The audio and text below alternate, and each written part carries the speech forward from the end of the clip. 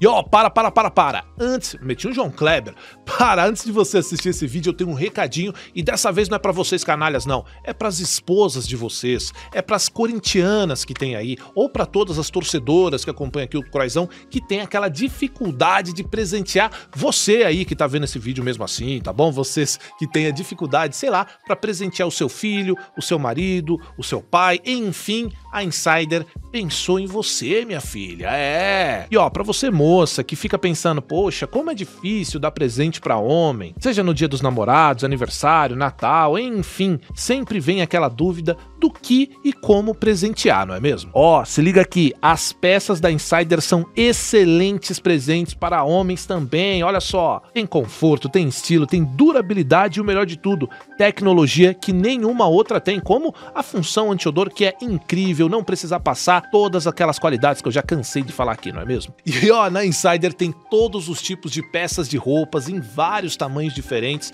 tanto o feminino quanto também, no caso agora, o masculino. E lá você pode escolher desde moletom, short, camisetas. Essa aqui que é a Tex Shirt, que eu adoro essa daqui que eu tô utilizando, inclusive, é a GG, né? Porque o pai é grandão, 1,91m, mas ó como ela cai bem, ó como ela fica legal no corpo, não tem nem, sabe? Você fica, cara, zero bala. Então, para você, moça, que quer presentear o seu pai, seu namorado, seu marido, seu filho, seja lá quem for aí, o homem que está na sua vida, com certeza a Insider é para você. E se você, moça ou rapaz que está vendo esse vídeo, se interessou, utilize agora o nosso cupom décimo12. Vou repetir, cupom décimo12 lá na Insider para você ter aí a sua porcentagem de 12% de desconto, meu amigo. Então vá agora, o link tá aqui na descrição, porque a Insider é a nossa.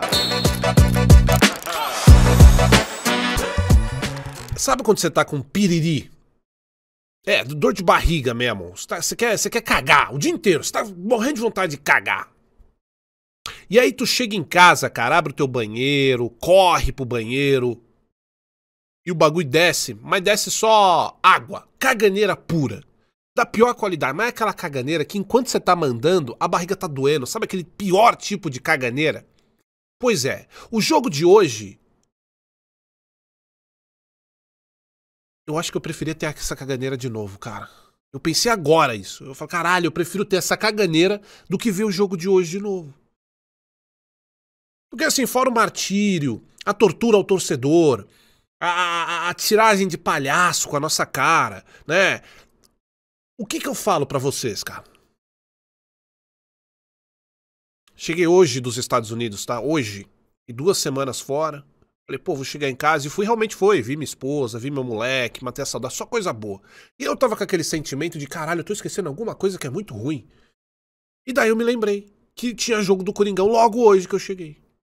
Mas é dito e feito. Vai estragar o finalzinho do seu dia. Não tem como. Ó, oh, bom dia, boa tarde, boa noite aí a todos vocês que estão chegando. Desculpa a vibe, não tô numa vibe legal, não tô. Não, não, só no rebaixamento, cara. Zona do rebaixamento. Não tem, não tem clima, não tem, não tem como fazer piadinha, não tem como estar tá feliz. É uma palhaçada do caralho. Né? Você vai ver a administração fazendo bobagem, é, jogadores em campo que não refletem o que a gente espera para um time como o Corinthians. Acho que nesse é que eu já te falei, né, cara? Eu, por mais que me doa ter que te assumir isso, o Corinthians hoje tá virando sim um clube pequeno. E não por, por a sua história, mas sim pelas administrações passadas, pela atual que nada está fazendo para mudar, infelizmente, pelos jogadores que vestem nossa camisa hoje. É isso, vão apequenando, apequenando, apequenando até o torcedor chegar no, no estágio de aceitação, né? E de. Ai, como é que eu posso dizer para vocês? Como o torcedor do Vasco hoje se sente. Isso é minha percepção, tá? E pelo, por alguns vascaínos que eu converso. Eles estão meio que em êxtase. Eles estão no automático. Eles não sentem mais nada, o torcedor do Vasco. Entendeu? Eles estão só. Ah, foda-se nada mais machuca, né, cara? Então eu tô vendo o Corinthians ir pelo mesmo caminho. E se cair, meu amigo, não pense você que vai ser igualzinho foi 2008 para 2009, não, tá? Hoje as coisas são bem diferentes, bem diferentes. A começar que a maioria desses jogadores que vocês lambem os bagos vão sumir vão pedir para sair. Não vai ter esse negócio de amorzinho, bater no peito e falar eu fico, a não ser os moleques da base, talvez. Já te aviso logo, hein? Você que fica fazendo página pra jogador, amando, já se prepara para depois tomar hate, porque esses mesmos, se acontecer qualquer merda, vão vazar. Assim como muita gente que hoje se aproveita para produzir vídeos, lives e páginas do Corinthians, nem torcendo pro Corinthians também vão sumir. Eu só espero pior porque eu sou um cara que eu gosto de me antecipar. E se não acontecer o pior, bom para mim, porque eu vou ter uma grata surpresa. Só que hoje, a cartilha que o Corinthians escreve é a risca para cair. Direção ruim, técnicos principalmente péssimos, jogadores nível realmente muito abaixo do que a gente espera. Torcida dividida, Padrão de jogo inexistente, aí eu digo o DNA que o Corinthians sempre teve. Bom, vamos lá, algumas coisas para falar aí que eu também não quero enrolar muito não, tá bom? É... Matheus Donelli, é algo que com certeza vocês querem a minha opinião, que muitos de vocês que me acompanham já sabem, só que tem um porém. Não é de hoje, aliás é há muito tempo que eu já vi ele entrar e eu já digo que o Matheus Donelli é um goleiro fraco. É um goleiro fraco. Só que eu vou apoiar esse moleque como nunca. Ah, Croix, mas aí é loucura. Você tá falando que o moleque é fraco e vai pra... Vou. Porque o Donelli é o meu goleiro hoje. O Matheus Donelli é o nosso goleiro. Independente se eu achar ele bom ou ruim, é o cara que vai vestir a nossa camisa. Então vai falhar? Vou criticar. Como criticava, e aliás eu não sou o gato mestre engenheiro de obra pronta, como vai acontecer agora. Eu já falo isso há muito tempo. O Matheus Donelli é um goleiro fraco, é um goleiro limitado. Ah, é da base, vocês gostam de enfeitar, bibibi, bobobó, eu quero é que se foda. É um goleiro fraco. Porém, vou apoiar o moleque. Porque enquanto tá todo mundo saindo fora, quem tá lá é o moleque. Quem entrou na bucha é o moleque. Ah, mas olha, pediu para pro Carlos Miguel ficar. Não importa quem é o goleiro é o Donelli. Então, independente de eu achar ele um goleiro fraco ou não, sempre falei isso, não sou dois papos, vou manter. É um goleiro frágil, é um goleiro fraco, mas eu vou apoiar o moleque para que ele melhore, para que ele ganhe incentivo, para que ele se desenvolva, quem sabe. Se isso não acontecer, veremos nos próximos jogos, certo? Então, o jogo de hoje não acho que tenha feito falhas, não. Aliás, o primeiro gol que foi anulado impossível de se pegar. Esse segundo, aliás, se fosse o Cássio, hein? Hum, falta de implosão. Que eu já falei em algumas oportunidades, goleiro aposentado e tal. Mas é o Donelli, e é um moleque jovem. Então, vamos dar aí um, um, uma colher de chá. Agora, essa bola foi lá na gaveta também. Muito difícil de se pegar, né? É, e inclusive ficam uns babacas, ficam putos quando eu falo de Cássio. Vocês vão ouvir o Cássio aqui para sempre. Não adianta chorar mingar, não. Não adianta, tá bom? Agora, para uma grande maioria, né, que entende o que eu falo, que tá sempre acompanhando aqui, sobre o Donelli, rapaziada, eu, eu, eu nunca pedi nada para vocês enquanto, é, enquanto é, produtor de conteúdo do Corinthians, mas eu quero pedir uma coisa. Vamos dar uma moral pro moleque? Eu acho que merece. Eu não sei quanto a vocês, mas eu acho que o moleque merece uma chance. Então vamos apoiar o moleque. Ah, falhou um jogo? Pô, calma. Calma. Porque se a gente tá dando chance pra um técnico que muitos ficam mamando com a desculpinha de que, ah, é sempre o técnico. Quando vem com esse papo pra mim, eu sei que não entende futebol e não quer um Corinthians bem. Então, se a gente fica dando moral pra um técnico completamente aleatório e ruim como é, por que não dar uma oportunidade pro moleque? Não é vocês que defendem o da base, alguns aí? Então, cara, o Matheus Donelli é o, é o, nosso goleiro. Até que chega um goleiro para ser o titular, eu vou apoiar ele. Mas digo a vocês, é um goleiro fraco, é um goleiro limitado, como eu sempre falei, não é de agora. Eu falo há muito tempo. Né? Pronto. Então, no jogo de hoje, não acho que tenha comprometido tanto, não. Mas é um goleiro que não passa nenhum tipo de segurança. Bom, dito isso, é, jogo mais feio que, que encoxar no tanque, jogo ridículo, horrendo. Mais um jogo onde o Corinthians não dá um chute ao gol. Quando dá é daquele jeito. Mais um jogo onde o Corinthians não propõe o jogo, não tem criação de jogada, não tem triangulação, não tem tomada de espaço vazio, não tem jogador se entregando nas suas posições, não tem uma transição de bola decente, não tem jogadores que saibam o que querem fazer dentro de campo. time completamente perdido, sem saber o ir e vir. Então, assim, me desculpe. É, mas eu sempre começo o ano, preciso falar mais uma vez. Acho que é por isso que eu tenho tanta moral com muita parte da torcida, né? Porque sabem que no início do ano eu falo, tomo umas porradas, chega aqui na metade, mais uma vez chega uma galera, pô, nós não, devia ter. Eu sempre aviso, rapaziada, é um técnico limitado. Eu devo ter algum tom, algum QI de um gênio absurdo por ver o óbvio, o que não é para ser. Porque um técnico, quando é bom, é bom. Técnico que é médio, é médio. Técnico que é fraco com potencial, é isso. E é o que é o caso do Tonhão. Falei para vocês lá atrás. É um técnico fraco, sem repertório. Aí você pode vir com o argumento mais fraquinho possível. Mas com esse elenco, você mesmo falou que os jogadores Eu sempre uso o exemplo de um cara que foi um merda com a gente, que é o Vitor Pereira, que pegou um elenco piorado do que tem esse e levou a gente muito mais longe, porque ele é um técnico de verdade. Eu sei que você se dói quando eu falo isso, porque já foi embora, já passou, mas foi o único técnico desde 2019 que a gente teve. Porque o argumentinho burro, falho, de que ah, vai trocar um técnico de novo, é, é, é, ele se cai por terra, porque desde 2019 com o Fábio Carilli, nós não tivemos um técnico bom. O único que veio foi Vitor Pereira, que nos levou com um time pior do que tem hoje, em uma final de Copa do Brasil e primeiras colocações de Campeonato Brasileiro. É... Então, assim, sobre o Antônio Oliveira, sobre o Tonhão, que eu já não vou falar o que eu tô falando. E, aliás, não sou engenheiro mais uma vez, né? Agora vai ficar fácil criticar e tal.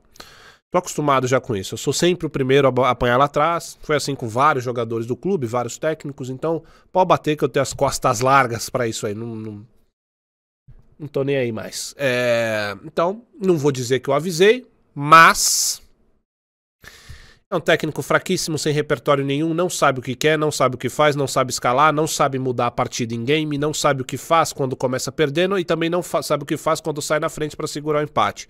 É um técnico completamente perdido, realocado num time muito maior do que ele poderia imaginar. O Antônio Oliveira, o maior trabalho dele, como eu já disse em outras oportunidades, foi ter mantido o Cuiabá, que é um time pequeniníssimo, em meio de tabela. E aí, mais uma vez, vai surgir o argumento fraquíssimo. Ah, o Cuiabá anda melhor que o Corinthians nos últimos tempos. Sim. Isso mostra muito mais do que é o Corinthians em si do que do próprio Cuiabá. Né? O Corinthians hoje vive um momento desgraçado, é um time que se apequenou, é um time que vive esculhambado não só por jogadores, por torcida e também por diretoria. Então, quando se fala óbvio, machuca algumas pessoas, mas é importante que algumas pessoas escutem a verdade. E a pura verdade é essa. O, o Corinthians está sendo apequenado, vai doer o seu orgulho torcedor, o meu dói, mas eu já estou calejado. E eu não tenho nem problema mais em expor isso para vocês. Estão apequenando o Corinthians de uma maneira que vocês estão vendo. É explícito.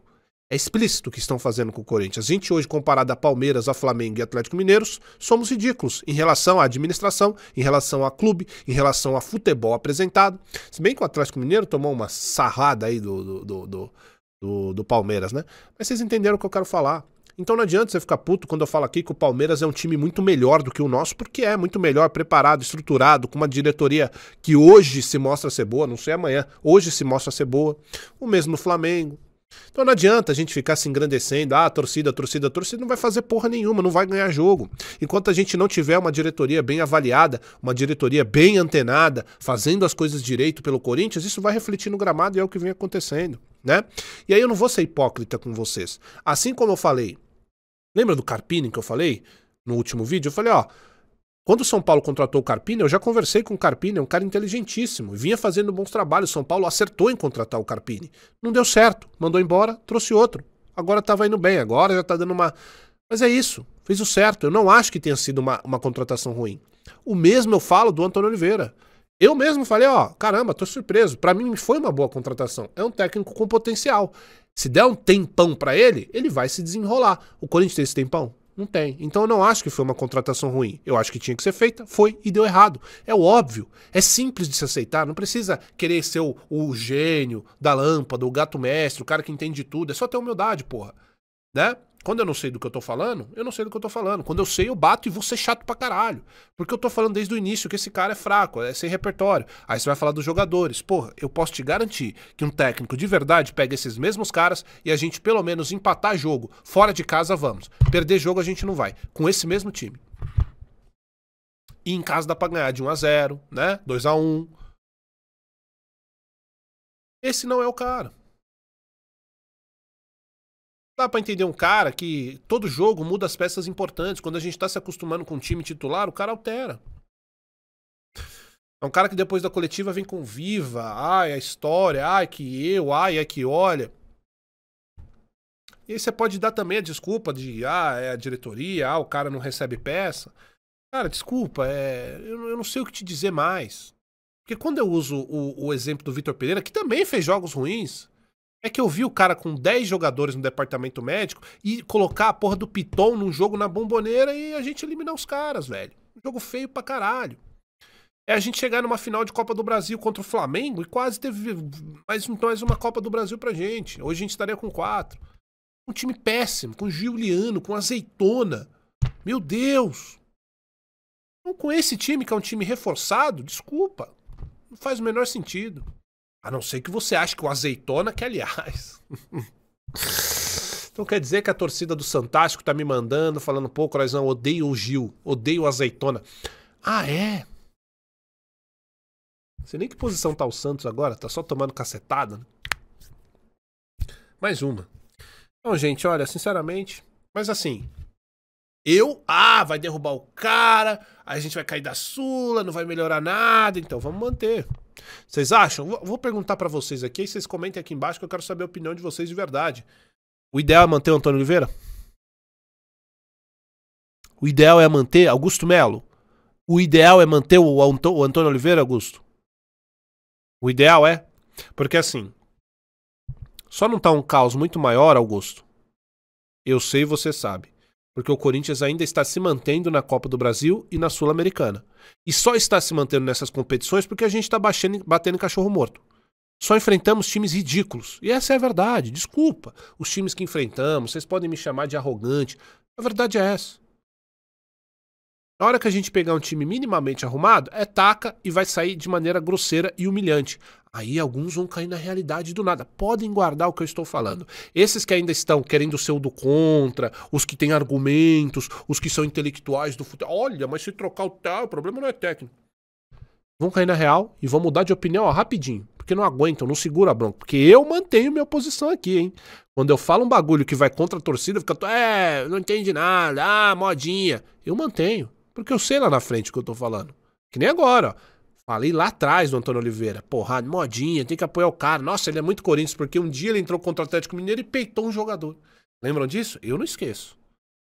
Eu não esqueço, porque eu não fico vendo o que o, o, treinador faz depois do jogo, se ele é muito Corinthians. Eu quero que esse papo de muito Corinthians se lasque. O que eu quero é um bom técnico. É um cara que arrume o time. Se depois ele vai peitar jogador ou não, eu quero que se dane, cara. Não quero esse negócio de muito Corinthians, não. Não quero nem que o treinador torça pro Corinthians. Não quero nem que jogador torça pro Corinthians, não. Esse papinho de torcer também, para mim, ó, é nojento. Não precisa. O próximo, é que nem fizeram aí com o Sérgio Moura. Ah, mas é São Paulino, eu tô me fudendo. Saiu já. Mas se fosse São Paulino, foda-se. Ele trazendo recursos pro Corinthians é o que importa. O mesmo jogador, o Corinthians tem que ser profissional. Deixa eu te falar uma coisa. O Emerson Sheik é o maior flamenguista que existe. Agora ele vai ficar com um papo de que o Corinthians conquistou, claro, ganhou títulos importantes aqui, mas é flamenguista e jogou muito aqui e é meu ídolo. Foda-se. Não tem essa. Acabou. O Ronaldo, flamenguista, Ronaldão. Depois ele fala: é, torcida do Corinthians é. Legal, mas é Flamengo, a gente sabe disso. Não tem problema, cara. Não precisa torcer pro Corinthians para jogar aqui, não. É só ser profissional. Vocês acham que o Paulo Guerreiro, gol do Mundial, era, era corintiano? Hã? Não era, cara. Eu sei, vocês sabem. Poucos jogadores são de verdade. O Neto, Neto, o, o Neto, o Neto torce pro Corinthians. O Neto é corintiano. Ronaldo Giovanelli, corintiano. Marcelinho Carioca, foda, fudido Marcelinho Carioca. Corintiano. Cássio, muito provavelmente é gremista. Para mim, o maior. Foda-se, entregou profissionalmente. Vocês entendem qual que é a, a, o negócio de ídolo, qual que é a parada? É entregar profissionalmente. Você não quer que ele seja muito com esse papinho perreca de. Tem que ser muito Corinthians, tem que agir como Corinthians, tem que falar, e aí, mano, o bagulho é doido, tá ligado? Porque ah, é muito Corinthians, mano. Vai tomar no cu. Eu quero que o cara seja profissional no ambiente de trabalho. Eu quero que esse cara treine, treine, treine. Eu quero que esse cara entre no jogo e jogue que nem o leão. Foda-se. Se ele é corintiano ou não é, se ele fala, ei, mano, foda-se. Que pensamento fracassado, é uns bagulho que. Não, mas é que ele não fala, é que ele não tem o cabelo. Que nem o Roger Guedes. Nunca vou esquecer. Dentinho bonitinho, loirinho, alemão. Não tem cara de corintiano. Ah, esse aqui não vai vingar. Foi o melhor, a melhor contratação que o Corinthians já fez nos últimos tempos. E ó, era do Duílio, hein? É bem verdade que ele cagou depois com aquela cláusula.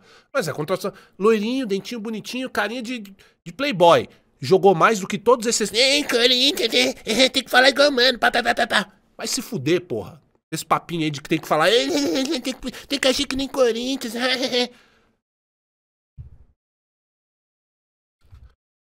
Qualquer profissional, atleta de futebol, presidente, executivo de futebol, gerente, é, é, é superintendente de marketing, foda-se.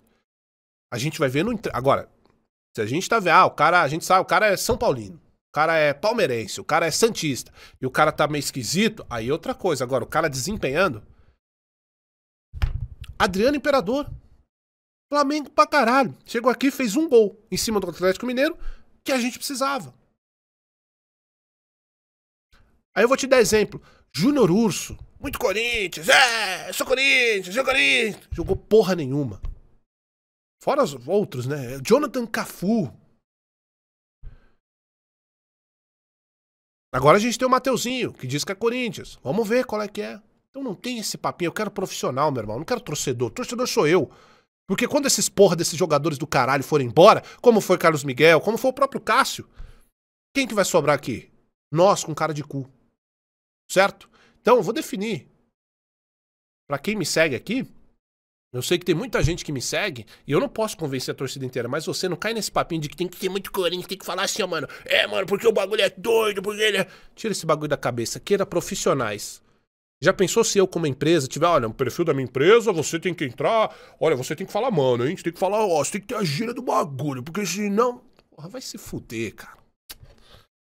Bom, mentalidade, né? Não só de diretoria, de torcida. Nem...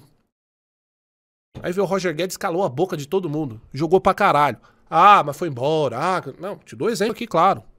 Foi a melhor contratação que o Corinthians já fez. Jogou mais do que todos que estão hoje. Não é verdade? Ou tô louco? É óbvio que você vai ter jogadores que foram lendários no Corinthians, como o próprio Ralph. Né? Ralph era pica. Não é verdade? Agora, o Cássio, tinha cara de corintiano? Não, entregou simplesmente o maior título que você, corintiano, vai ter. Que cara de Corinthians que tem o Cássio? Nenhuma. Queixada, cara de, de, do cara do Sul. Chicão, lembra? Batedor de falta. Que cara de Corinthians que o Chicão tinha? Porra nenhuma. Falava igual, mano? Não. Não tem esse negócio de perfil, tem que falar que. Corintiano é tudo, mano. Pelo amor de Deus, caralho. Tô dizendo isso porque eu já vi vários posts assim, né? Negócio nojento. Tem que... Se não seguir a minha cartilha, não é corintiano de verdade. Eu... Bom, é, gente, então. Perdemos no jogo, assim, jogo mequetrefe, ridículo, jogo tosco. Eu. Olha. Desculpa, é, vai ficando angustiante, assim, porque a gente agora voltou para a zona de rebaixamento.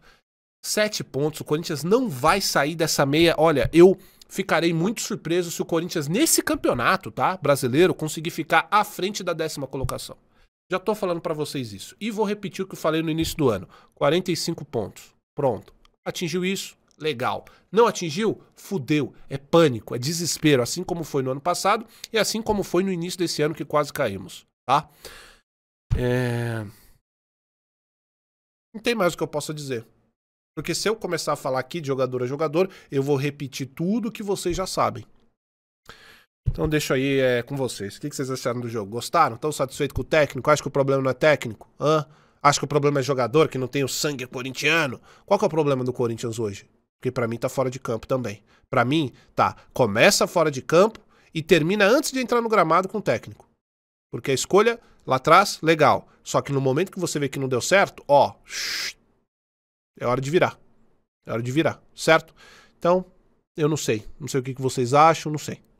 Comentem aí, o que, vocês acharam do jogo, qual que é... Ah, olha, gente... Um dia que não dá nem vontade de gravar vídeo, cara. Eu só gravo aqui porque eu tenho que ter o um compromisso com vocês, porque senão, né?